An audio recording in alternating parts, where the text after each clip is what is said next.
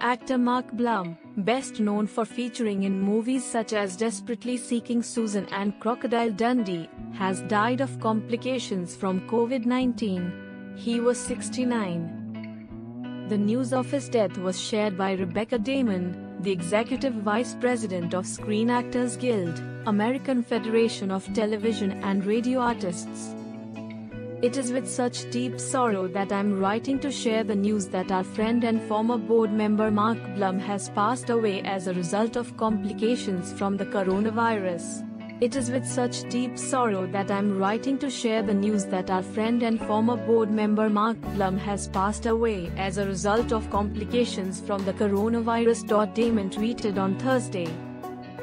Blum started his career in the 1970s and made a mark on theatre scene with critically acclaimed performance in Playwrights Horizon's production of Albert Innaurato's Gus and Al. He also performed on Broadway with productions like Lost in Yonkers, The Best Man and The Assembled Parties.